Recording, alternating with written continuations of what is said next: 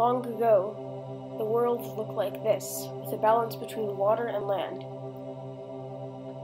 There were trees and hills and cliffs, and now it's just storms, storms and water that covers everything except the top of the mountains.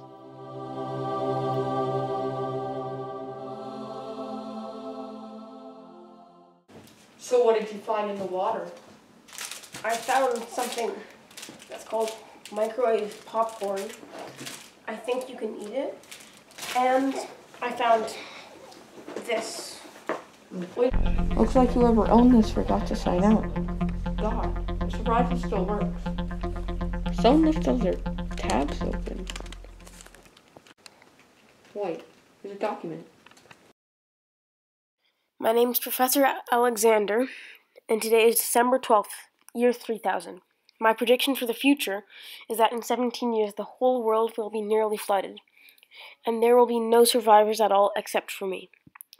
The only places that will not be flooded are the mountain tops, and that is why I have built a house with the proper equipment on top of Mount Everest. I will be the last person in the world for sure.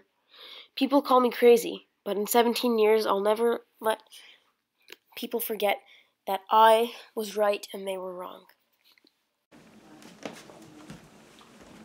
Someone left all their tabs open, and there's a document. Speaking of people, did you find anyone today? No, I, I don't think there's anybody left.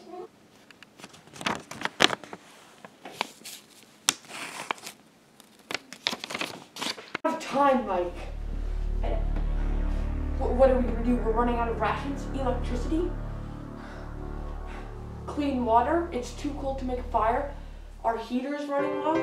What, what are we gonna do? We can't find any people. We have to find some. There are no people left. How do you know?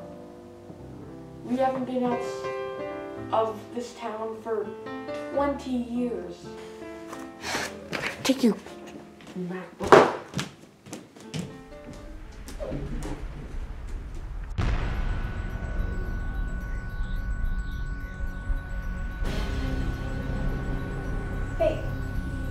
Boss, look outside. The, the water. It's rising quicker and quicker.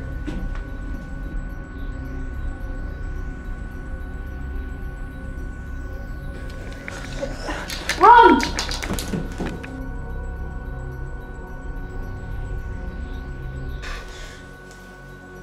Hello, Mr. Johnson. How's the simulation? Simulation? It was just a simulation? Yes, Mr. Johnson. It was all a simulation. Um, how would you like to see what the 1800s are like? Sign me up.